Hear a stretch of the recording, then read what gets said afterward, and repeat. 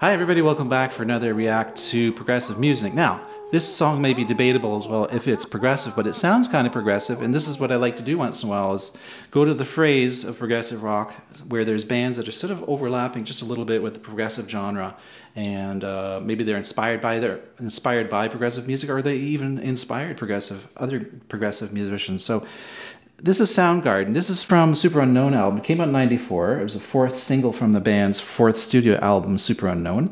It was, uh, the lyrics are by the uh, singer Chris Cornell. Uh, may he rest in peace. Wonderful musician, and uh, co-writing the music was uh, guitarist Kim Thayil.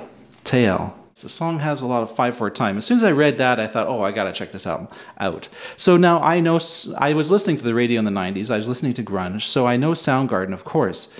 This song, when I put it on, I may actually recognize it right away, or I may not, because I didn't buy the album, I didn't hear the whole thing.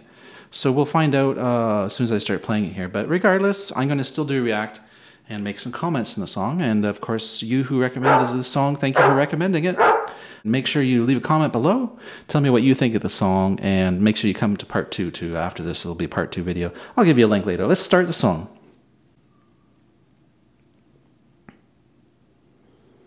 Okay, it is a video, but I'm not I'm not going to watch the video much. Mostly I want to hear it. Oh, of course I know this song.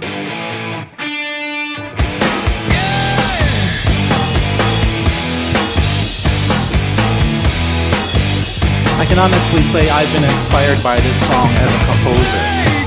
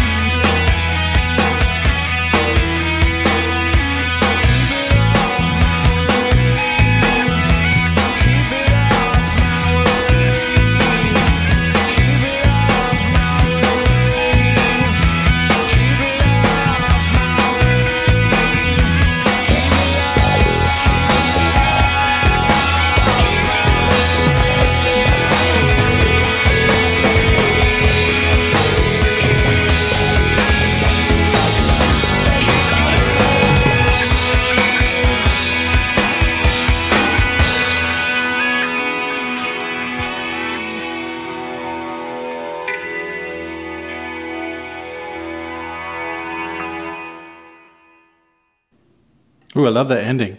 It almost had that sort of uh, sitar-ish kind of tone. Anyways, come to video two. We'll just talk a little bit more about this song, uh, some interesting points about it.